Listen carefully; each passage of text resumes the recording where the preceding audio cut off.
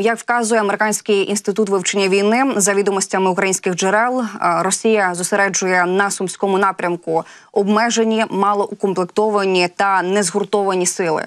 Якими є загрози на вашу думку нині для Сумщини, і навіть таке російське групування сил так малоукомплектоване, незгуртоване, чи зможе досягти ймовірно бажаного ефекту, а саме відтягування українських військових?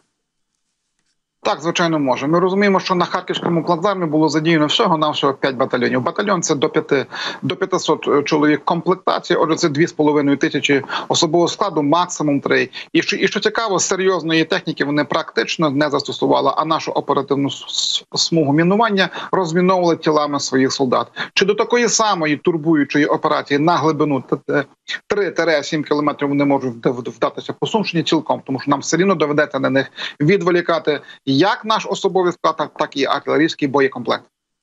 Е, пане Петре, е, треба також розуміти, як е, казав речник Державної прикордонної служби України, що протяжність кордону з нашим ворогом досить велика, і тільки у Сумській області, про яку ми з вами говоримо, понад 560 кілометрів. І власне навіть залучаючи ті сили, які ми маємо, які ми можемо туди залучити, ми маємо тримати нашу оборону потужно, бо ворог, на жаль, переважає і у техніці, і у засобах ураження, і також в особовому складі. Тому, пане Петре, якщо підсумовувати то вірно, що складнощів силам оборони додає і протяжність українсько-російського кордону.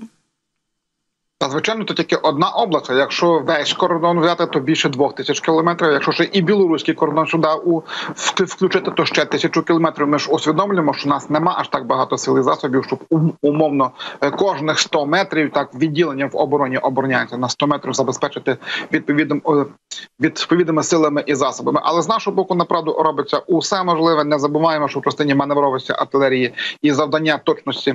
Е, ударів ми суттєво випереджаємо нашого противника. Ну і восьма фізико-технічна революція на марші дрони зайшли як ударна сила у, у, у війну.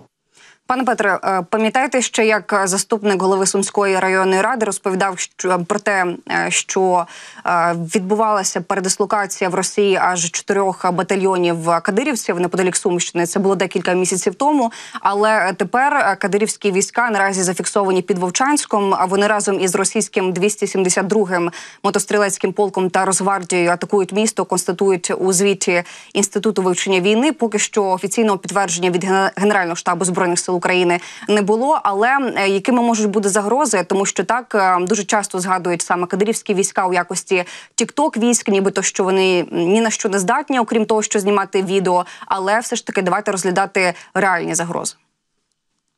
Я би не сепарував їх від загального війська Російської Федерації. Так вони можуть трошечки трошечки краще підготовлені.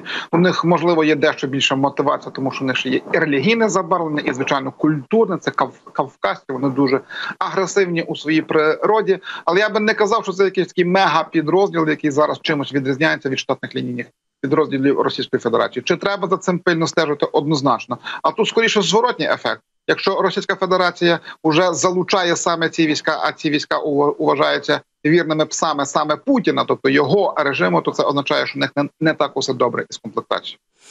І від початку наступу на харківському напрямку Росія втратила майже дві тисячі солдатів та понад 340 одиниць техніки. Про це е, повідомляв нещодавно Генеральний штаб збройних сил України, е, враховуючи, що Росія пішла у наступ на харківському напрямку. Так якщо ми говоримо про повторний наступ, це 10 травня 2024 року. За такий проміжок часу станом на зараз, так від 10 травня е, сьогодні ми маємо 21. Наскільки це великі втрати для росіян, як і в особовому складі, так і в техніці. Якщо е, порівнювати інші напрямки, можливо, тут недоречно буде згадувати так, як Авдіївський Бахмутський напрямок, але е, в так в контексті самої цифри, наскільки це багато. Дуже великі. Це дві повноцінні батальйонні тактичні групи, навіть трошки більше.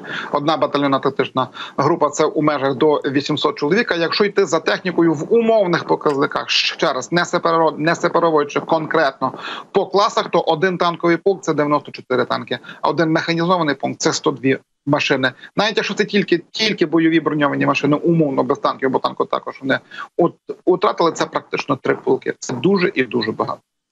Пане Петре, також у поточному травні, як вважає військово-політичний оглядач Олександр Коваленко, російські окупанти поставлять рекорд за власними втратами, що перевищать можливості противника. Ось цей е, пролом компенсувати. І за його словами, е, нині у противника у російських окупантів дуже близький абсолютний рекорд е, за втратами артилерії.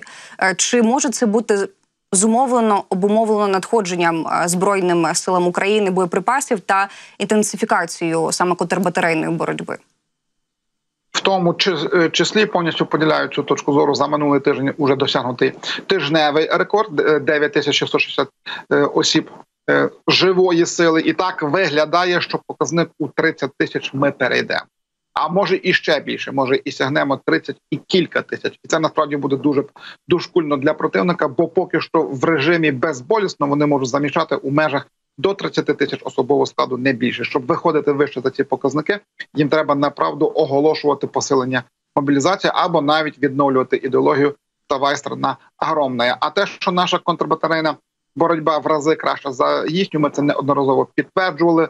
Е, такі е, установки, як ANTPQ 36, 48, 50 е, американського виробництва, не кажучи вже про німецьку машину Кобра, котра є блискучою. Ну точно випереджають у якості їхні контрбатарейні системи, такі як зоопарк. Один саме і тримаємося вже третій рік тільки тому, що ми воюємо якістю і інтелектом, а вони воюють кількістю. Пане Петре, також бачимо, що в великих кількостях знищується і важка бронетехніка. І тут хотіла згадати, що Росія використовує у війні проти України слабо захищений БТР 50 50-х років випуску. Ось цей 70-річний бронетранспортер, можливо, не найгірша техніка, яку російська армія відправляла в пряму атаку на українські позиції, але вона, мабуть, е, найстаріша. Про що може свідчити залучення саме таких старих броньованих машин, на вашу думку, з урахуванням того, що без механізованих підрозділів, ну повністю оснащених е, так належними бойовими е, машинами, досягати швидкого і рішучого прориву оборони буде дуже складно, якщо ми говоримо про росіян. Криза у частині, що стосується забезпечення бойовими машинами піхоти, котрі покликані доправляти е, ос- ос- особовий склад до поля бою, і найголовніше захищати його від е, артилерійських у першу чергу валів. Взагалі в росіян стратегічному сенсі криза, причому величезна. Повноцінно будувати можуть, скажімо, з танків тільки один Т-90 20-25 на е, місяць, а із бойових броньованих машин це те. Це БТР 82 і БМП 3 і БМД 4 От і все. І то в дуже дуже невеликій кількості. Одна із причин цієї війни це зуміти повернути назад наш воєнно-промисловий комплекс. Того часу Путін казав, що коли розпався радянський союз, то втрата України це втрата 49% їхнього потенціалу. Це неймовірно багато. Московія стала на шлях свого кінцевого воєнного занепаду, але є нюанс. Оцього мотлуху на складах ще дуже і дуже багато. Щонайменше усіх класів бронетехніки із танками включно є ще у межах до 10 тисяч. Це дуже багато. На жаль, Е, пане Петре, якщо говорити про бронетехніку нашу, яку ми отримуємо, яку ми будемо отримувати, аналітик Defense Express Сергій е, Згорець розповідав, що динаміка постачання е, броньованої техніки від партнерів залишається дуже повільною. Хоча окремі країни залишаються і лідерами у питанні забезпечення ЗСУ важкою бронетехнікою. Зокрема, і згадали, що Нідерланди сьогодні залишаються одним із головних постачальників танків Леопард для потреб ЗСУ. І вчора в Іспанії, точніше, декілька днів тому в Іспанії оголосили про постачання 10 танків Леопард, про які було оголошено е, ще наприкінці минулого року. Е, На вашу думку, чому може бути причина такої великої затримки? Це причина в логістиці чи в чомусь все таки іншому? В логістиці раз, а, а друге, ця бронетехніка не була готова до такої е, такої броневійни, яка зараз відбувається на наших бойовичах. Взагалі противник задає ну просто унікальних утрат, особливо в частині що стосується танків. Вже до 8 тисяч. Ось ось добіжить. Нагадаю, що штатний танковий парк у них складав 3400 машин. До речі, він суттєво більший ніж був на початку війни. Ніж якби усі країни НАТО склали свої танки докупи, то вони такої кількості бронетехніки не мали. Ця бронетехніка яка перебувала в доволі плачевному стані. Буквально кілька рот, ну максимум кілька батальйонів перебували на марші, які могли вступати до бою. Це все довелося е, ремонтувати, модернізовувати. А потужностей у таких масштабах, як нам потрібно, не було. І знову ж таки, бронетехніка далеко не панацея. Я е, звичайно стою на позиції, що панацеї не існує у природі, то вундервафи не існує у природі, але справжня зброя цієї війни це авіація і, і далекобійні ракети. Ось що нам по справжньому потрібно. Хоча кожна одиниця бронетехніки, яка дозволяє нищити ворога і зберігає наш особовий склад, однозначно вітається. Танкова рота, де де 10 одиниць це добре, на якомусь напрямку щось буде підсилено і покращено, але це не та кількість, яка дозволяє щось по справжньому проривати. Проривні е, е, моменти в частині бронетехніки починаються із танкової дивізії. Танкова дивізія це більше ніж 280 машин. Е, Пане Петро, оскільки ви згадали авіацію, тут е, хотіла б також згадати і слова президента України Володимира Зеленського. Е, він сказав, що Україні потрібно понад е, 100 винищувачів F-16 для того, щоб протистояти російським окупантам у небі. Е, росіяни цитую президента: Росіяни використовують 300 літаків на території України. Нам потрібно щонайменше 120-130 літаків, щоб протистояти е, в небі. На вашу думку, наскільки така кількість так допоможе? Ну тут е, певно, що йдеться не про паритет, але все ж таки так допомогти е, вийти на бажаний результат захисту українського неба. Цілком така велика кількість машин повністю дозволила би нам вирішити проблему коректованих авіаційних бомб. Та навіть одна ескадрилья 12 машин може змінити колосальну ситуацію на якійсь окремій ділянці. Оця машина може брати на борт до шести далекобійних ракет AIM-120 МРАМ, які на відстані 180 кілометрів зіб'ють практично все. су 34 шкідає дошкульні важкі бомби ФАП 250 ФАП 500 УПАП 1500 з відстані 40-70 кілометрів. Якщо у бік су 34 полетіли 2-4 ракети, випущені із одного літака, він приречений. Всього у росіян в строю робочих машин близько 80. Якби ми за умовний місяць зуміли підбити машин так 30-40, вони 100% змушені були їх припинити застосовувати. Чому? Тому що ставити до строю можуть не більше ніж 5-6 машин на рік. І то проблематика будівництва машин буде наростати, особливо у їхній вартості. Там величезна кількість західної мі- мікроелектроніки, котра з кожним місяцем в кожному циклі буде дорожче. Е, Пане Петре, ще тут е, на додачу наголосив президент наступним інтерв'ю Reuters, е, Процитую, е, що ви не можете зараз цього забезпечити. Це питання. Гаразд, повертаючись до літаків, які є на території сусідніх країн НАТО, підніміть їх у повітря, збивайте цілі і захищайте цивільне населення. Е, У чому, на вашу думку, зараз проблема захищати українське небо саме з території країн НАТО? Е, В даному випадку тут е, все ж таки йдеться про страх ескалації, прямої конфронтації з Російською Федерацією чи щось інше. Саме так пряма конфронтація з Російською Федерацією. Якщо умовно той самий F-16 над, над територією України зіб'є російську ракету, це пряме боєзіткнення країни НАТО з Російською Федерацією. Треба запускати четверту і п'яту статтю. Як це все має виглядати, ніхто не знає.